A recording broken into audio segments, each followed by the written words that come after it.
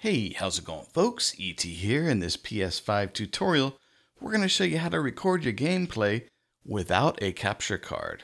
Let's get started. Okay, first make sure you're inside the game. You can't record unless you're actually inside of a game.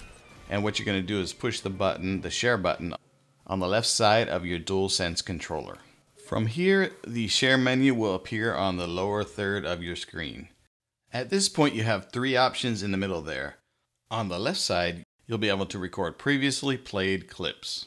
The PlayStation 5 is recording up to 60 minutes of video regardless if you hit the button or not. And this will allow you to go back after you've played and actually record up to 60 minutes of a clip, which is really cool. The center one here is just for taking a screenshot, so you just push it and click, it takes a screenshot. And the one on the right will actually start the recording at the point where you push that button. And here's a demonstration of how you do that. So you're going to go to the right icon there. You're going to push that. You'll see a little timer start at the top with the little red dot and that'll let you know that you're actually recording.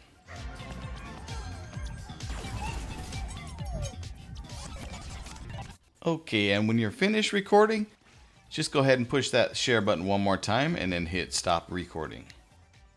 Your clip is going to display on the left side of that lower third, and then it'll be automatically saved to your media gallery.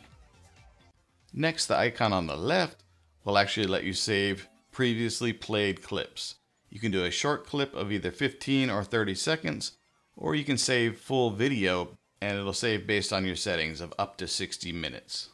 And this feature is awesome because the PlayStation is always recording, so you can go back in time and actually grab that clip.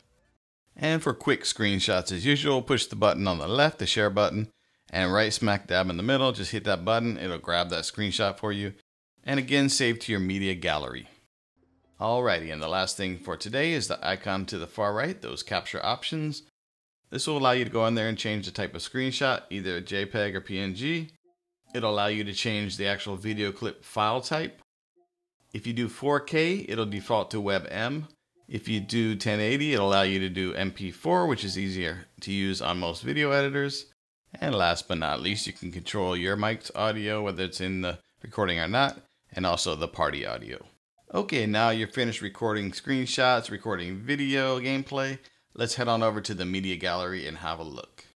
Alright, from this point, there's a couple things you can do. You can either take this media, save it onto a USB thumb drive or, or hard drive, grab it, put it in your computer, edit it in your favorite video editing program such as iMovie, Premiere, Resolve, Final Cut Pro, whatever.